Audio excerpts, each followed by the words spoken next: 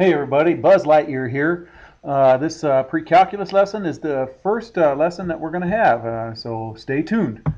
Okay, so let's first take care of this board problem, so go ahead and pause it and you can go ahead and, and plug these in. All right, and then uh, and then you can unpause it and see if you got the right answers. Make sure I got the correct answers. I, I make lots of mistakes, so um, hopefully I made the correct answers. Um, okay, let's go ahead and begin this lesson. Okay, uh, relations and functions. Okay, a relation is a set of ordered pairs, xy pairs, you guys. And the first uh, numbers are called the domain. The x's are the domains, and the second numbers are the y's. They're called the range. Okay, so the range numbers and the domain numbers. So state the domain and the range of the following relation. So you got 5, 2, 38, 15, 3, 17, 6, and 14, 9. Okay, the domain is all the first numbers, 5, 30, 15, 17, and 14. And the range is all the second numbers. Okay, so there's the answer. Okay, so the domain of a relation is all odd positive integers less than 9. Okay, like 1, 3, 5, and 7. Those are odd less than 9. Okay, the range of y is the relation, uh, the range y of the relation is 3 more than x. So add 3 to all those numbers where x is the member of the domain. Write a relation of the, uh, write the relation as a table of values and as an equation and then graph. So there's a table of values right there. So it's all the odd positive numbers less than 9 and then add 3 to all those. Here's 1 plus 3, 3 plus 3, 5 plus 3, 7 plus 3. So it's always x plus 3, y equals x plus 3, and then graph them. Okay, don't connect them with the straight line. They're just ordered pairs, you guys. So there's the graph. All right, so definition, you guys. Um, uh, a function is a relation where each element of the domain is paired with exactly one element of the range. And the trick is, you guys, you just can't have an x repeating going to two different y's. You can have y's repeating, you just can't have your x's repeating. All right, that's the trick. So state the domain and range of each relation and state whether it's a uh, function. Okay, so the domain is all the first numbers, negative 2, 3, and 2. The range is all the second numbers, 1, negative 1, and 0. Okay, so there's my domain and range, and I don't see any x's repeating, so yes, it is a function. Okay, here's number B. okay, so negative 3, negative 3, look, negative 3 repeats. I know right now it's not a function. Okay, so your domain is negative 3 and 9, and your range is um, negative 1, negative 2, and 1. And it's not a function because your, your 3's repeat. Again, your y's can repeat, your x's can't repeat. All right, evaluate each function for the given value. Okay, so f of negative 1, uh, if f of x equals 2x cubed plus 4x squared minus 5x. So you're going to just plug in negative 1 where you see an x and crank it all out, and you should get 7. Okay, here's number 2. Find g of 4 if g of x is x to the fourth minus 3x squared plus 4.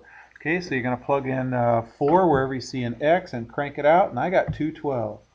Okay, composition of functions. Okay, so uh, given, sorry about the small font, you guys. They'll get bigger. It's, this is my first lesson that I started doing back about uh, several months ago, you guys. So my fonts get bigger.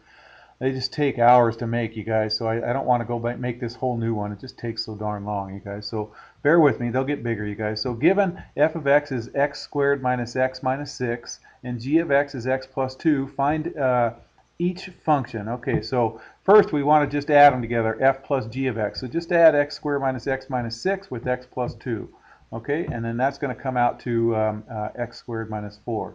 Okay, number B, subtract them now. Okay, so you're going to subtract them. Okay, now just be careful when you distribute negative x, and this is going to become a minus 2, and negative 6 minus 2 is minus 8.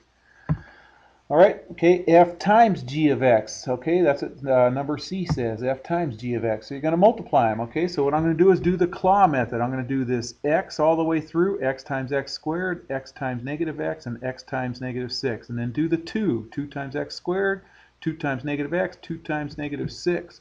And then combine like terms. And uh, there you can see I did the x in red, and I did the 2 in blue.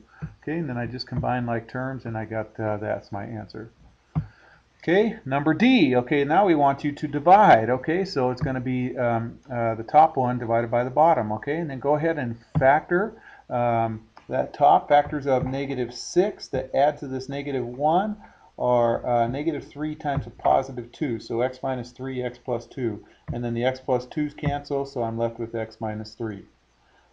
Okay, Uh, let's see. So given um, example number two, given f of x equals 3x squared plus 2x minus 1 and g of x equals 4x plus 2, find f of g of x, and that's what this says. That's a O. That means f of g of x and then g of f of x. Okay, what this means is I'm going to plug the g function into the f, and over here I'm going to plug the f function into the g. Okay, let's see what I did here. So f of g of x is wherever I see an x in my x in my f of x, I plug in the function g of x, which is 4x plus 2. So it's 3x squared, so it's going to be 3 times the quantity, 4x plus 2 squared, and then plus 2x, but my x is 4x plus 2. Okay, and then careful, when you FOIL that out, you guys, 4x plus 2 times 4x plus 2 is 16x squared plus 16x plus 4. You have to FOIL it out, you guys. Um, and then uh, I'm going to go ahead and distribute that 3 through and then combine like terms. And so there it is right there. You come up with that one. Okay, let's do g of f of x.